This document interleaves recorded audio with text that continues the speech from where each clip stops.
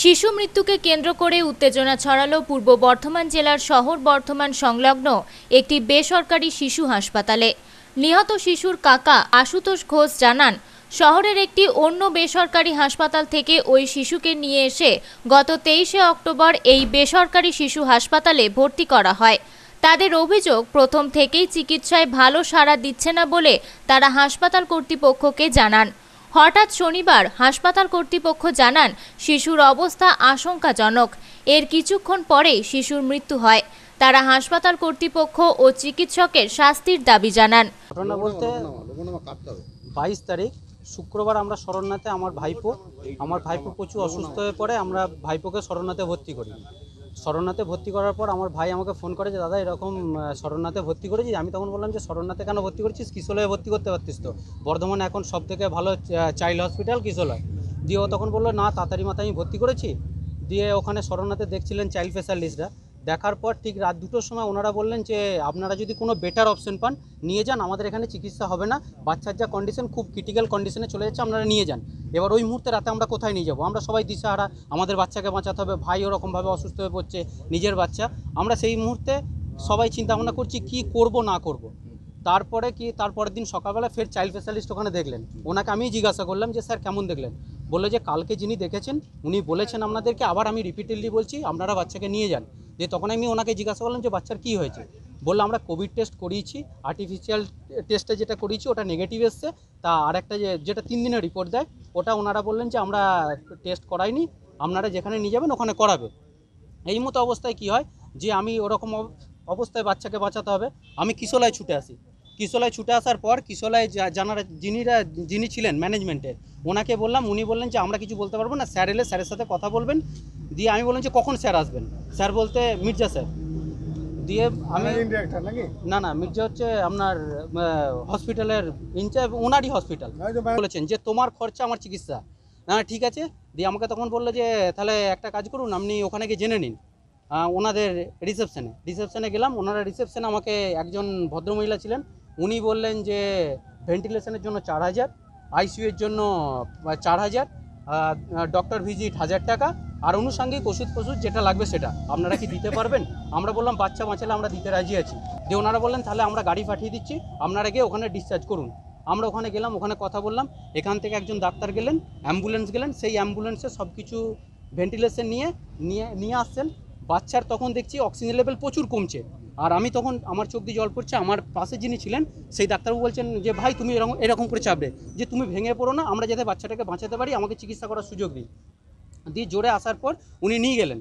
তখন উনি ঠিকঠাক স্টেবেল করেছেন, আমাদের, ওনাদের কথা মতো উনি স্টেবেল করেছেন, করে নিচে এলেন। নিচে এসে বললেন যে, বাচ্চার জেটুকে আছে, আমি বাচ্চার জেটু আমরা ঠিক আছে, আমি আছি। বলে চলুন, বাচ্চাকে দেখিয়ে আনি।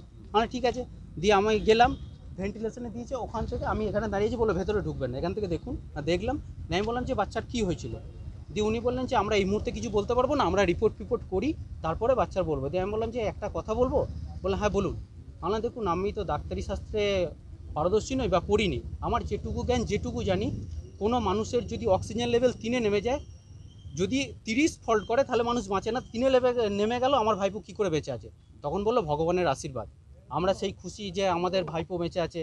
দিয়ে তখন উনি বললেন যে, ঠিক আছে, আজকের মতো স্টেবেল সব কিছু ঠিকঠাক আছে ওটা কেন দেওয়া? আজকে যে এখানে আট দিন ভর্তি আছে, আজকে নিয়ে আট দিন ভর্তি আছে, আট দিনই বাচ্চাটার চোখে তুলে দেওয়া।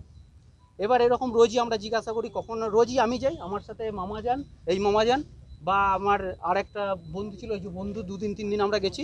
ডাক্তারবাবু একই কথা বলে, আপনার বাচ্চা উন্নতি হচ্ছে, আপনার বাচ্চা খুব ভালো হচ্ছে, সব ঠিকঠাক আছে। লাস্ট দিন বলে যে আমরা সিক্সটি পার্সেন্ট মেশিন খুলে দিয়েছি, চল্লিশ পার্সেন্ট মেশিন দিয়েছি সিক্সটি পার্সেন্ট নিজে থেকে নিচ্ছে। কালকে যখন আমরা জিজ্ঞাসা করি যে, তাহলে কতদিন ভেন্টিলেশনে রাখবেন? তার আগেও একদিন জিজ্ঞাসা করি বলছে, সাত থেকে এই পেশেন্টকে সাত থেকে দশ দিন ভেন্টিলেশনে রাখতে হয়। না, ঠিক আছে ভেন্টিলেশনে রাখতে হয়, কোনো অসুবিধা নেই, আমরা ভেন্টিলেশন রাখুন, আমরা যেন বাচ্চা ফেরত পাই। বলল যে, চিকিৎসা আমার। খরচা আপনাদের, আমরা যথাসাধ্য চেষ্টা করছি। তা বাচ্চা রেসপন্স করছে, এটা খুব ভালো দিক। হ্যাঁ ঠিক আছে, রক্ত দিলাম। আপনার রক্তের প্লেলেট বাড়ানোর জন্য যে সিরামটা, সিরাম লাগল, সিরাম দিলাম। তারপরে আপনার পার ডে এক, একটা ইঞ্জেকশন বলল আট, চারটে করে ইঞ্জেকশন লাগবে, আটটা ইঞ্জেকশন ষোলো হাজার দুশো, একশো নিরানব্বই সামথিং এরকম কিছু একটা দাম আছে। আমরা বললাম, তাতেও আমরা রাজি আছি, আপনারা বাচ্চাকে বাঁচান। আমরা রোজ জিজ্ঞাসা করি বলে বাচ্চা ইম্প্রুভ হচ্ছে বাচ্চা ইমপ্রুভ হচ্ছে আমরা খুব খুশি হচ্ছি। বাচ্চা প্রমাণিত হতে এসেছি আমরা কি এক লাখ বিরানব্বই হাজার টাকা পেমেন্ট করেছি? মেডিসিন সব দিয়েছি। মেডিসিন সব দিয়েছি এক লাখ বিরানব্বই হাজার টাকা পেমেন্ট আছে। তারপরে উনি বলেছেন যে কোনো টাকা দেয়নি জোর করে ভরে দিয়েছে কিসের জন্য? আমরা থানায় অভিযোগ করেছি থানাতে গেছে থানা থেকে এসেছিলেন। থানাতে আবার থানা থেকে যারা এসেছিলেন ওনাদেরকে বলা হয়েছে কোভিড হয়েছে। যদি কোভিডই হয় তাহলে আজ পর্যন্ত কেন আমাদেরকে বললেন না যে আমাদের বাচ্চার কোভিড হয়েছে? কেন বলেননি উনি? উনি কি মানুষ? আমরা কি ডাক্তারকে আমরা কি ভাবি? হ্যাঁ উল্টো ওয়েস্ট বেঙ্গল সরকারের রিপোর্ট আছে। রিপোর্ট নেগেটিভ আমাদের আমাদের বাচ্চা মরে গেছে আমরা প্রশাসনকে ডাকিনি। আর আমাদের বাচ্চা আমাদের বাচ্চা মারা গেছে আমরা প্রশাসনকে আগে জানাইনি। থানাতে ওনারা আগে জানিয়েছেন কেন? আমরা কি থানা ভাঙ আমরা কি ভাঙচুর করেছি? না ডাক্তারবাবুকে চিকিৎসা করতে দিনি জায়গা ভাঙচুর হয়েছে আমরা আমরা চাই ডাক্তারবাবুর শাস্তি চাই। আর ডাক্তারবাবুর শাস্তি চাই। সঠিক চিকিৎসার জন্য সঠিক পয়সা নিন। আজকে আমাদের হয়েছে কালকে যে আপনার হবে না ওনার হবে না কেউ বলতে পারে না। আজকে আমাদের ওপর দিয়ে যাচ্ছে হয়তো এখানে শয়ে শয়ে হচ্ছে আমরা কেউ জানতে পারছি না।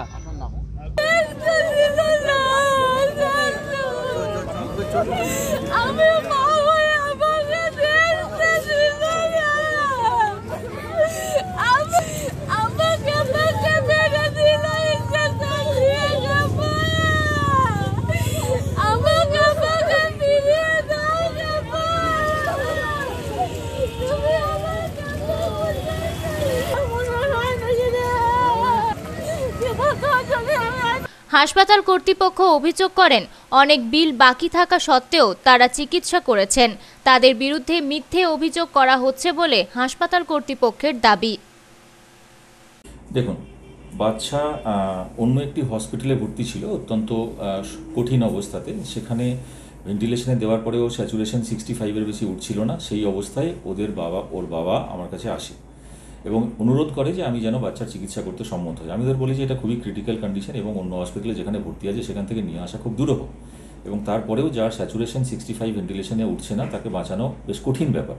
কিন্তু প্রথমে আমরা ওকে ফিরিয়েও দিই, ও চলেও যায়, তারপরে আবার এসে অনুনয় বিনয় করে। তখন আমি ওকে বলি যে একান্তই তুমি যদি চাও একবার চেষ্টা করে আমরা দেখতে পারি। তো সেই মতো বাচ্চাকে আমরা ওখান থেকে ট্রান্সপোর্ট করে নিয়ে আসি। নিয়ে আসার পরে প্রথমে আমরা ওকে ভেন্টিলেশনে দিই, দেখি সত্যি স্যাচুরেশন সেভেন্টি ফাইভের বেশি হান্ড্রেড পার্সেন্ট অক্সিজেন দিয়ে উঠছে না। তো আমরা তার পরীক্ষা নিরীক্ষা করি, করে আর তার কোভিড অ্যান্টিবডি আমরা হাই টাইটারে পজিটিভ পাই। যদিও তার পিসিআর কোভিড কিন্তু নেগেটিভ ছিল। কোভিড অ্যান্টিবডি যখন হাই টাইটারে পজিটিভ পায়, তো এই রকম ক্ষেত্রে পোস্ট কোভিড কমপ্লিকেশনের কথা ভাবা হয়।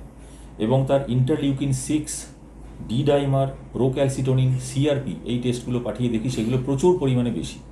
এখানে যখন রাখা হয়, তখন সে তাকে সিডেট করা হয় এবং তার যাতে চোখে এক্সপোজার কেরাটাইটিস না হয় মানে হচ্ছে সে তো আর চোখ নাও বন্ধ করে, এই যে আমরা নর্মালি চোখ বন্ধ করছি, খুলছি, তাতে কি হচ্ছে আমাদের চোখের ল্যাক্রাইমেশন ঠিক থাকে মানে চোখটা ময়েস্ট থাকে।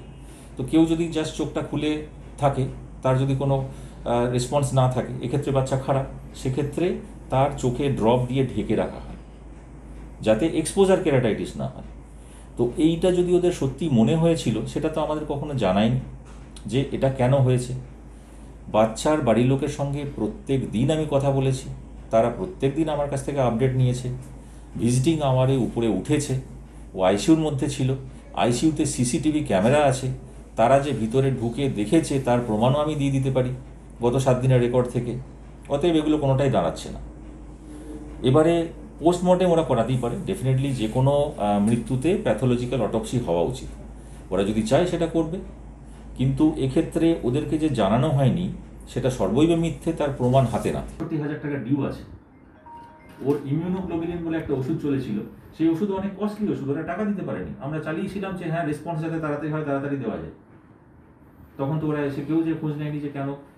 অতএব চিকিৎসা করলামও আমরা, চিকিৎসার খরচও বহন করলাম আমরা রিস্কও নিলাম আমরা, দোষও পেলাম আমরা।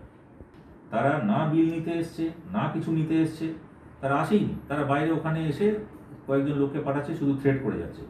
তাদের পরিবারের কোনো লোক এখানে আসেনি। আমরা পুলিশকে ডেকেছি, পুলিশকে ইনফর্ম করেছি।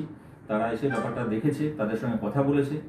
তারা বলেছে যে পোস্টমর্টেম যদি ওরা করতে চায়, তাহলে পোস্টমর্টেমের জন্য পাঠাতে।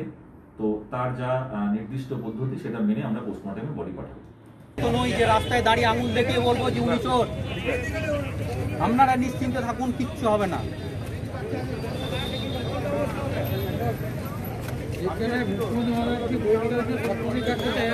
কালকে যখন জিজ্ঞাসা করলাম, ওনারা যখন আমি রোগের নাম আজকেও আজকেও যখন আড়াইটা, তিনটের সময় কথা বলি, তখনও কোনো রোগের নাম বলছে না। কেন বলবেন না? আরে ভাই, আমরা পয়সা দিয়ে চিকিৎসা নিচ্ছি। উনি আমাকে ফ্রিতে ট্রিটমেন্ট করছেন, আমি কোনো চ্যারিটিতে দেখাতে যাইনি। উনি আমার কাছে দায়বদ্ধ, উনি আমার কাছে পয়সা নিয়ে কাজ করছেন। কেউ নার্সিংহোমের সামনে আসবে তো বলতে পারতেন আমরা আমি আর পেরে উঠছি না আপনারা অন্য জায়গায় নিয়ে যান।